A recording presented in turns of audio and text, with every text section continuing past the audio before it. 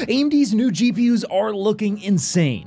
Let's talk about it. Before that, this video is brought to you by VIPCDKDeals.com. CDK Deals is a website dedicated to getting you the best prices on games and software, and right now you can get a Windows 10 Pro OEM key for an insanely low price. Just find the best price and apply my special discount code GPC20 for an additional 30% off. You can also check out securely with PayPal, and once the payment is cleared, you should get access to the code both in your account as well as in your email. In order to activate the new copy of Windows 10, just search Activate under Windows and type in your key. So if you want to learn more, be sure to click the link in the description below. That's right, we have some new GPUs coming out from AMD, hopefully in not too long. Of course, we will touch on the release date in just a bit, but these things, yeah, they could definitely shake up the entire GPU market and in a good way for once, as the price to performance is looking absolutely crazy, and the performance itself is shockingly quite a bit better than I had originally anticipated. Now, the GPUs we're talking about today are going to be the next generation RDNA 4 RX 8000 series graphics cards. Now, there's been a ton of leaks about these recently, and I have a new one I want to share with you guys today,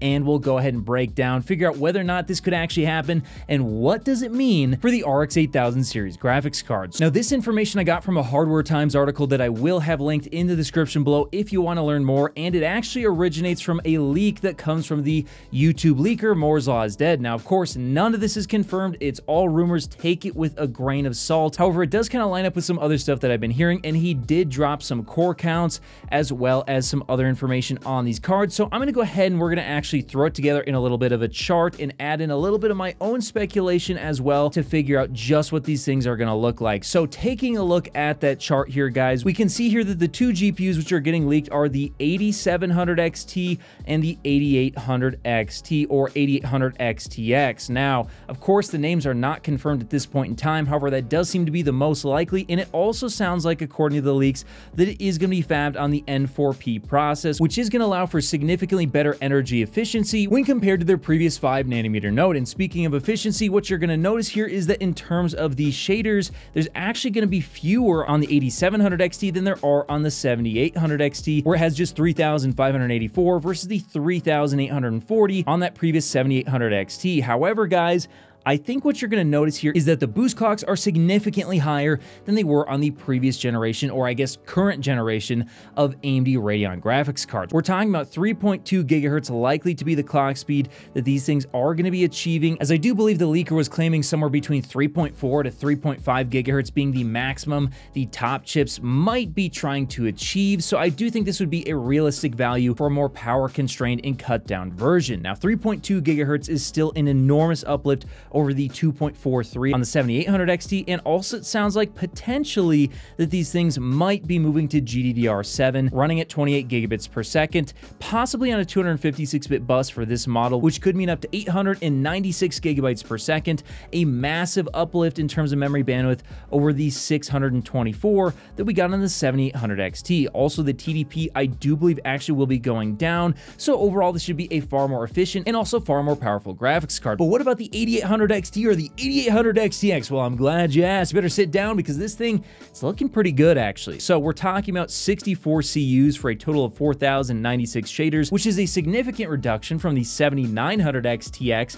However, running at 3.4 gigahertz with GDDR7 running at 28 gigabits per second, getting that same nearly 900 gigabytes per second of memory bandwidth and a far lower TDP of roughly 265 watts. And this thing could be an absolute monster. But in terms of performance, how's this thing going to stack up and what is it going to cost most importantly? Well, let's go ahead and take a look. So starting off with the 8700 XT, I actually do believe this will come in at a price of $399 and in terms of performance be around 23% faster than the 7800 XT. That is a massive improvement in terms of price to performance. And in terms of release date, probably talking around quarter four of this year, 2024. And then the 8800 XT is, I believe, going to come in at $499 as was leaked by Moore's Law is dead. And if that is true, well, with 27.9 teraflops of GPU performance, we're talking about roughly 50% faster than that 7800 XT, which also puts it around the RTX 4080 or the RX 7900 XTX, except for at half the cost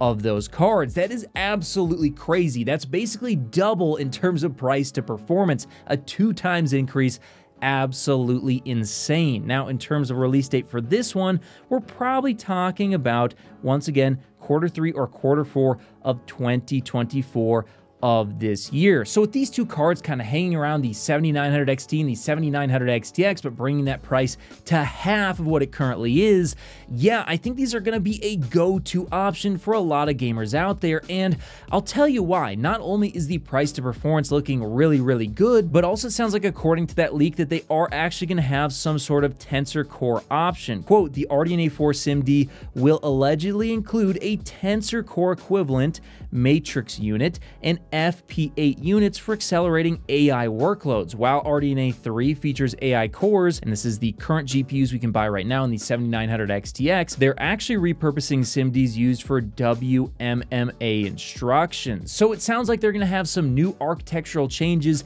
that will allow them to actually crunch numbers in the same way that the RTX 40 series does when it comes to those AI workloads. So that's really, really important stuff because I don't know if you guys saw this, but there was some recent information alluding to the idea that AMD will be actually redoing its FSR implementation to use AI upscaling rather than the current method, which just doesn't look as good as DLSS. So if they can actually pull that off with this new hardware, well then they're going to have potentially an actually legitimate DLSS competitor that will actually look as good as in my testing. They are currently falling far short, where sometimes they can look almost equal, but in other times it can actually be that the quality version of FSR can look worse than the performance or even ultra performance version of DLSS. And that is not a good place for AMD to be if they want to keep up with NVIDIA, especially when it comes to those AI and ray tracing workloads, which by the way, it sounds like ray tracing will be getting a significant bump as well. So really exciting stuff, guys. I cannot wait to get my hands on these. And honestly, if those prices are true,